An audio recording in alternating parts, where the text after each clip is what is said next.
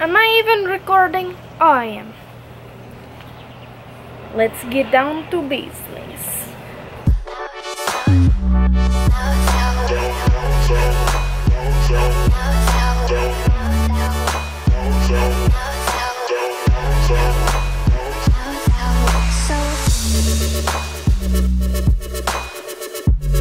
Hello, my fellow equestrians.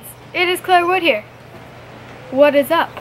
So today I'm going to clean my tack and show you how I do it. Normally I don't do all of these steps because I'm lazier than crap, but I'm going to show you how I do it. I'm not showing you saying this is the only way that you can clean tack or your way is wrong. I'm just showing you my way and how I do it so don't get offended and if you will get offended, bye-bye. So today I'll be showing you guys how to clean saddles, bridles, bits, boots, girths, breastplates, basically anything and everything.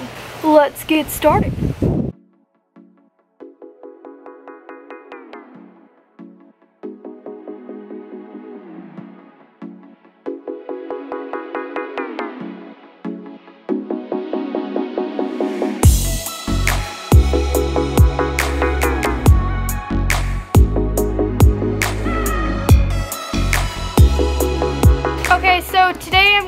Start with cleaning my saddle. So the first step would be to take your leathers and stirrup irons off. You don't have to do this step, it's not necessary, but if you want a better, deeper clean, take them off.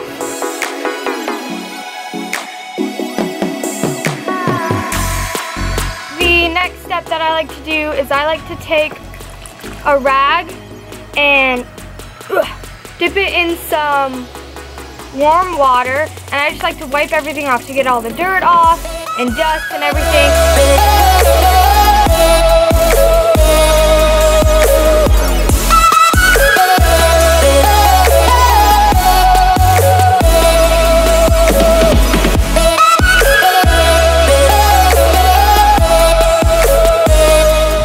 Now, of course, for video purposes, I'm only showing you me doing one side. Otherwise, this video would be thousand minutes long. I, I will clean both sides, but for the video, I'm just showing you one side. Or am I? So after you have done that, and of course you will do that to your stirrup leathers as well, I'm just not gonna show that. Then you're gonna take your leather cleaner of choice. I'm using this Lexol cleaner. So you're just gonna spray this all over your tack and then wipe it off with a rag. Make sure to get under everything and all that jazz.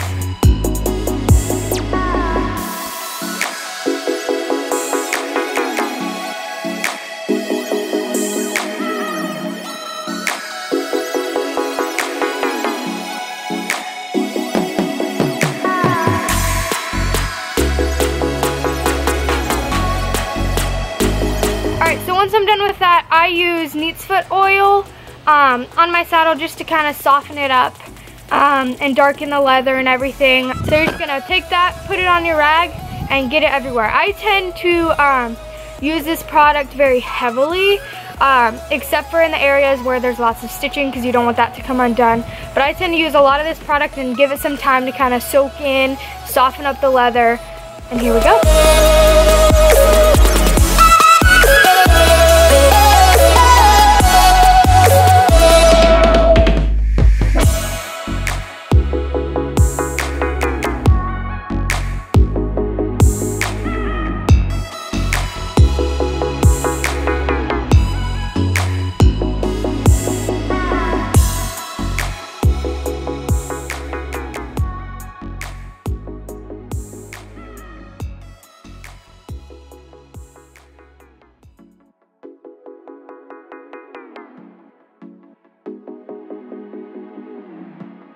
Once you're done using your Neat's Foot oil, you are going to use a leather conditioner of your choice. This helps from like prevent cracking and it also softens up the leather and kind of just gives it a really nice finish. So I always like to use that three-step process of, well, four-step I guess technically, of hot water, then I use my leather cleaner, oil, and then leather conditioner.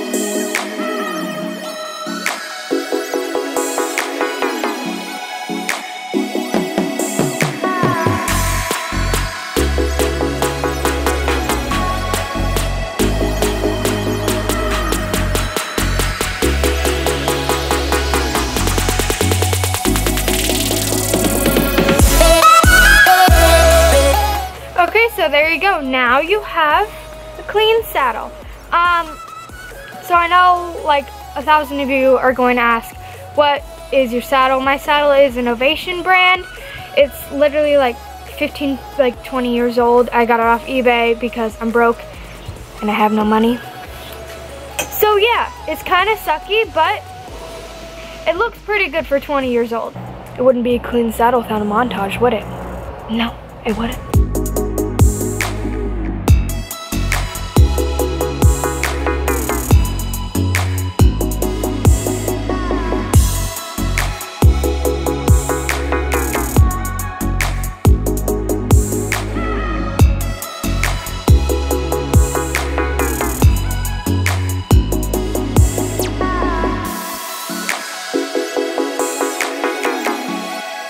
Now, I know a lot of people like clean the underside of their saddle and do a bunch of extra stuff, but um, I'm a little bit lazy, so I'm not going to be doing that today.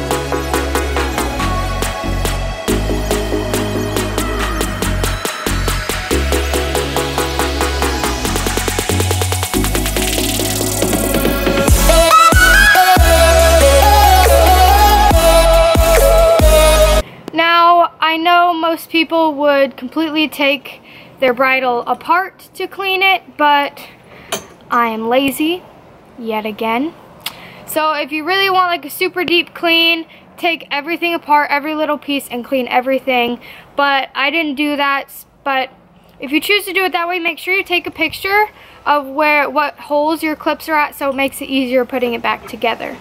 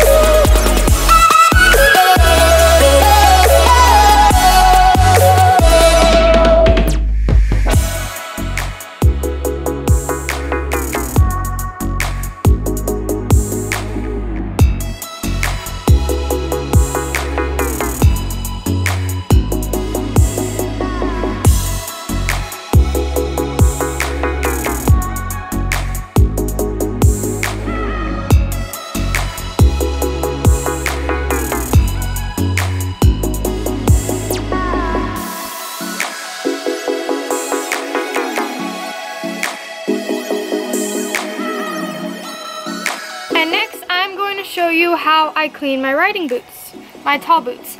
And I know you're all going to ask, these are Mountain Horse tall boots. So I basically use almost all the same steps with my boots as I do with my other tack. I still use the four different steps, but then I also put boot polish on the outside of my boot, not the inside. That's gonna be touching the horse. So if I have a show, I'll put boot polish on the outside of my boot which makes it look really, really nice, but I'm not going to do that today because I'm not going to a show soon. So just know that if you are going to put boot polish on your boot, make sure all it's dry from cleaning it and then you just only put it on the outside.